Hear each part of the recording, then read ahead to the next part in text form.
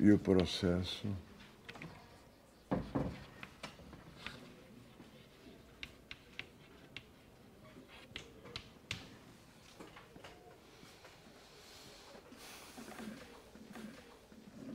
Em 1964, na data do golpe militar, o diagnóstico da inflação brasileira, que nós economistas tínhamos, era de duas, duas raízes. Primeiro, a inexistência de instituições que dessem, que possibilitassem a política monetária. O Banco do Brasil era também um banco comercial, ah, o Banco Central era um banco que tinha que ser criado, só existia SUMOC, o controle da base não era não estava claro como se fazia isso. Eu já mostrei isso para vocês na aula passada. O segundo item desse diagnóstico era que o déficit público brasileiro não é grande. O problema é como financiá-lo.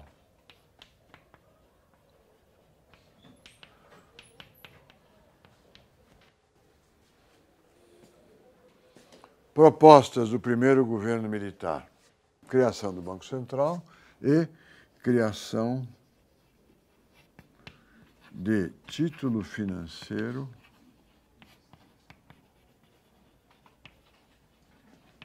à prova de inflação, ou protegido de inflação.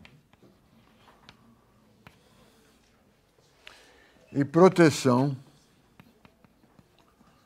das receitas tributárias, né, do T, contra a inflação. Então se cria em 64 correção monetária dos impostos, da correção de títulos, da dívida pública,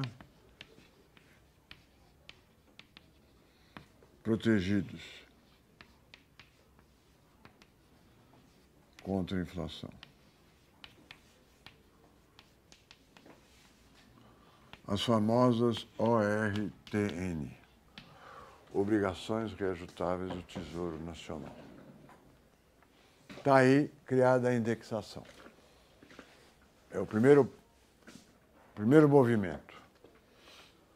Com a inflação, vamos supor, de 3% ao ano, ao mês, perdão, se você, o, o fato gerador do imposto do ICMS é a venda de uma mercadoria, né, a circulação de uma mercadoria, se ela se dá em 2 de maio, eu registro, a, a, eu emito a nota 2 de maio e pago, não sei a regra hoje, mas uma regra seria uh, nos primeiros 15 dias do mês subsequente. O ICM é um imposto que tem créditos e débitos. Né? Então, se a inflação é 3%, uma operação realizada 2 de maio, eu vou perder quase o mês inteiro de inflação, 3%, mais 1,5% da inflação do, dos 15 dias em que eu tenho que pagar o imposto no mês que vem. Perdi 4,5% de arrecadação. Certo? Se eu atrasar ainda, se os juros forem de multa, juros de mora forem pequenos, se eu atrasar, eu ganho mais 3%, dependendo do que, quanto que se cobra os juros de mora. Então, a defasagem entre o fato gerador e o data do recolhimento do imposto, numa economia inflacionária, gera uma perda de receita tributária. Então, o governo militar, primeira providência, os recolhimentos de impostos serão corrigidos por um índice geral de preço certo? Segundo, eu, governo federal, vou emitir títulos da dívida para financiar o meu déficit e esses títulos serão corrigidos pelo IGP. Serão a provas de inflação. A ideia era compatibilizar o financiamento do governo, que o governo precisava, com as suas receitas. Então eu precisava de um crédito mais longo, eu não ia resolver o déficit público no começo do ano seguinte, eu precisava de um prazo de financiamento. Agora, só conseguiria esse financiamento se o título de crédito que eu emitisse para obter o empréstimo fosse a prova de inflação. Foi criado esse título, a obrigação reajustável do Tesouro Nacional. Eu estou pondo aqui uma ordem cronológica. Primeiro, segundo, terceiro, a taxa de câmbio. As exportações brasileiras e as importações não podem ou não deveriam sofrer, a taxa de câmbio era fixa na época, a desvalorização que a inflação causa durante o tempo com a taxa de câmbio, na, na taxa de câmbio. Inflação de 20% ou 60% ao ano, dólar fixado, digamos, a dois mil reais, dois mil cruzeiros, cada ano que passa é 60% a menos. E a desvalorização cambial, naquela época, como sempre, mas naquela época ainda mais, era uma medida surpreendente, porque o governo trabalhava com câmbio fixo. Então ele afirmava, eu compro e vendo dólares a 2 mil cruzeiros por dólar. Aí, de repente, esse dólar começa a se desvalorizar pela inflação e precisa desvalorizar de novo. Então, acaba com isso e fala: o dólar será corrigido anualmente. Com uma inflação alta, o anualmente ainda era um problema. Por quê? Aqui está a taxa de câmbio fixada no momento zero. Se a inflação é de 30% ao ano, no fim do ano, no período 1, ela era 100 aqui, aquela é 70.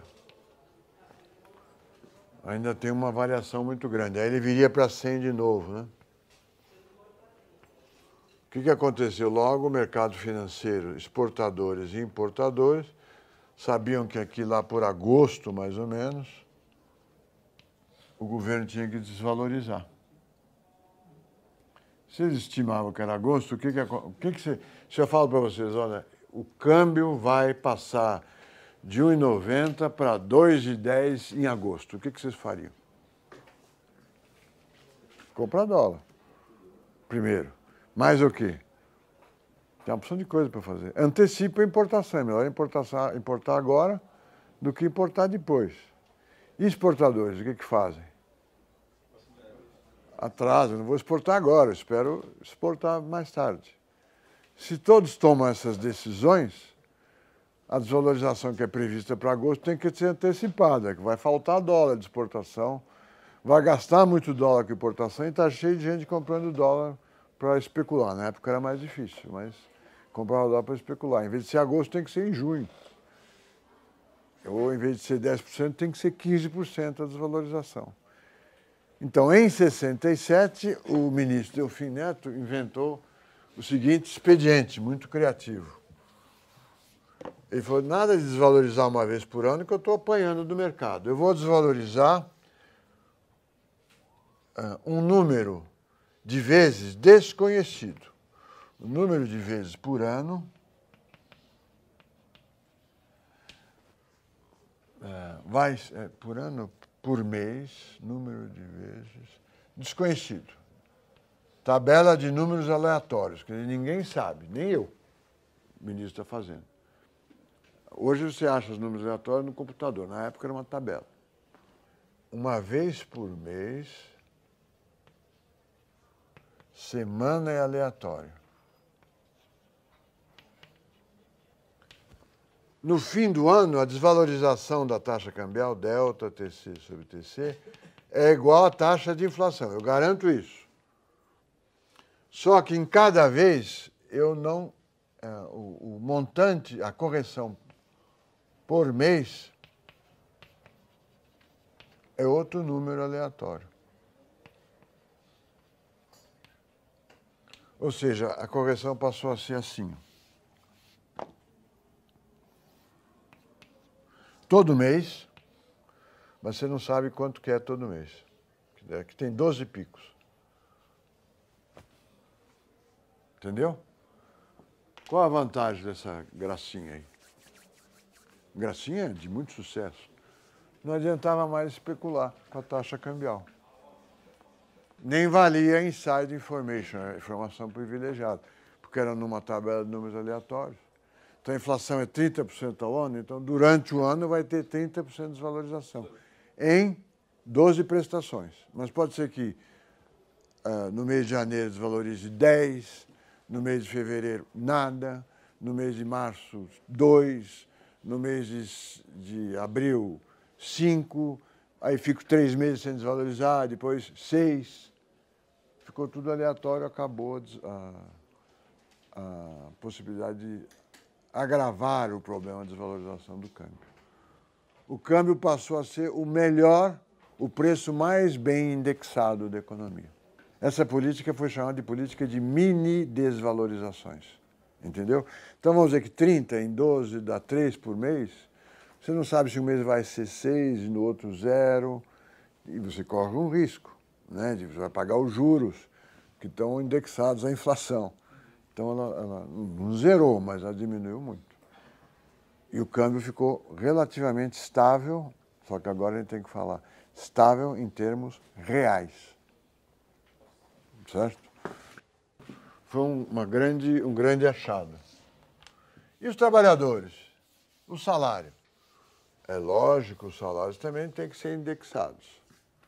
Só que os trabalhadores os salários, para despersonalizar o problema, os salários são corrigidos através de uma lei salarial.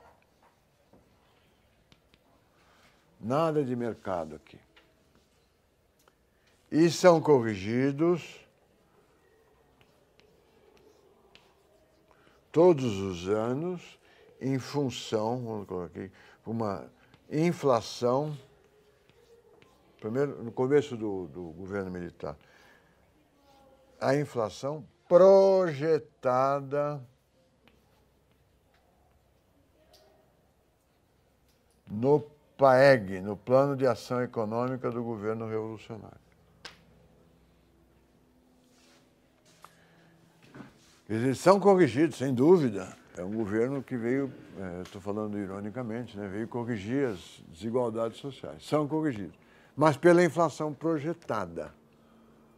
A inflação projetada no PAEG nos primeiros anos era 20, 10%. A inflação observada foi 60, 30.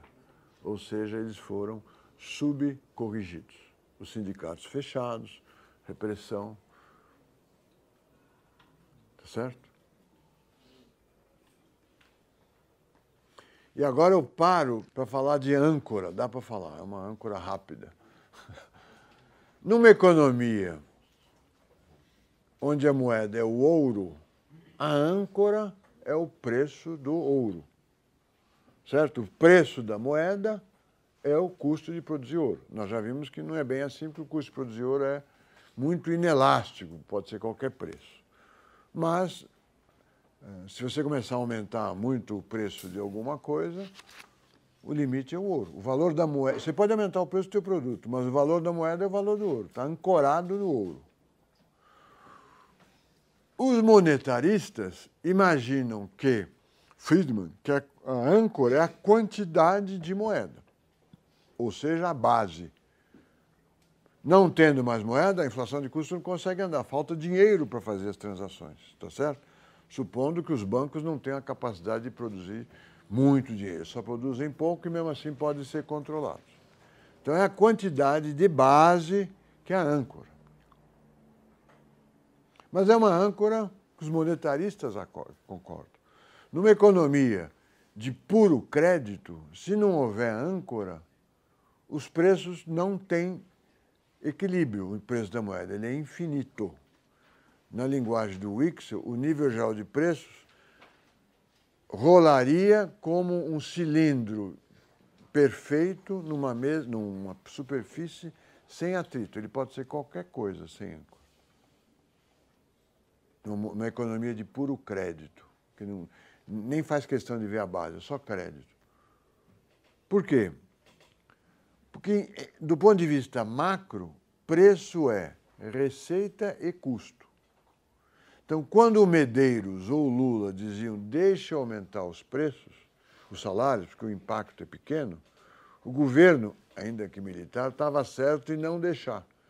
Porque aumenta os salários, aumenta o preço do automóvel, aumenta, portanto, com o aumento do salário, aumenta a receita, a renda dos trabalhadores para comprar automóvel, viabiliza a venda de automóvel mais caro e assim por diante. O preço é receita e custo eu aumento o preço, você aumenta o salário, eu aumento o preço, você aumenta o salário, eu aumento o preço. Não há nada que pare uh, essa corrida entre salários e preços, ou entre custos e receitas. Aumenta o preço do petróleo, aumenta o preço da, da gasolina vendida no Brasil, que aumenta o salário, que viabiliza comprar mais gasolina. Uma economia de puro crédito precisa de uma âncora. Uma economia de moeda e mercadoria não precisa, porque o ouro é o preço da moeda, teoricamente. Uma economia de puro crédito precisa de uma âncora, algo que dê o valor da moeda. Porque lembre, a moeda é um índice que pode ter qualquer valor, mas deve ter um valor só. Pode ser 100, um milhão, pode ser cruzeiro eh, Cruzeiro velho, que era um real, uh, cem reais. Cruzeiro novo, onde cem, mil reais, mil cruzeiros velhos é igual a um cruzeiro novo. Não faz diferença. É preciso uma âncora. Os monetaristas acreditam que essa âncora é a quantidade de moeda. Se o governo aguentar firme não ampliar a base, a moeda está ancorada. Numa economia indexada, precisamos de uma âncora também. Qual foi a âncora escolhida? Os trabalhadores. Eu corrijo o câmbio imediatamente, importante para manter dólares, né? Não criar uma grande distorção de exportação e importações. As minhas receitas, Tesouro Nacional e impostos, também corrijo imediatamente. Trabalhadores, então vocês vão ajudar no combate à inflação. Vocês vão ser corrigidos pela inflação projetada. A livre negociação não funciona. Porque se houver livre negociação, nós não temos âncora. É importante entender esse conceito, que o preço é renda e custo no, do ponto de vista macroeconomia. Então aumenta o preço, fala, Ih, não vai ter gente para comprar. Vai, porque eu aumentei a renda dos caras que produziram aquele produto. Que vão poder comprar um preço mais alto e assim por diante.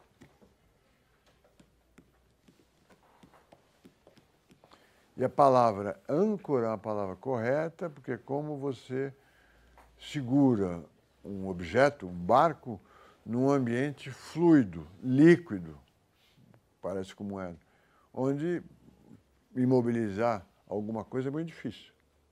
Certo? Porque ela flutua para lá e para cá, sabor do vento, das ondas. Então, é uma âncora quebra um galho, mas não fixa de uma vez no período inicial do governo militar, a âncora eram os trabalhadores. É, a piada é parecida com a piada do 33 que perdeu a mãe. O, o cabo 33 perdeu a mãe. O general foi informado e falou: alguém tem que dizer para o cabo 33. Então o general chamou o major, Avisa que o 33 morreu a mãe do 33. O major chamou o capitão. Capitão, a mãe do 33 morreu. O capitão para o tenente, tenente para o sargento e chegou a vez do sargento que não tinha para quem pedir. Pôs a tropa no, no, no pátio. Falou, todo mundo que tem mãe dá um passo à frente. Você não, 33. Né? E deu a notícia. A indexação é a mesma coisa. Todo mundo vai ser indexado. Câmbio, lógico, fundamental minhas receitas também. Trabalhador, você não se aguarda um pouquinho, senão a inflação não cairia. É a mesma ideia. Senão vira uma roda sem fim. Preço é renda, que é preço, que é renda, que é preço, que é renda. Que não é verdade no mundo micro. o Medeiros tinha razão, do ponto de vista, ou Medeiros ou Lula, dos metalúrgicos, deixa eles aumentarem os preços. Primeiro que é irrelevante que nós vimos. Agora, do ponto de vista macro, nem a Anfávia, nem os metalúrgicos podiam pensar macro, não era do seu interesse, eles estão tratando dos seus próprios interesses.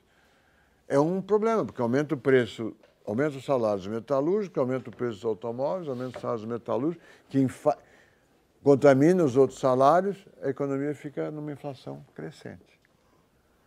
Então, os salários eram corrigidos por lei. E nos primeiros dois anos, com a inflação projetada do plano. Essa era a âncora. Na aula que vem, nós vamos ver como é que essa política foi bem sucedida e quando é que ela se tornou mal sucedida.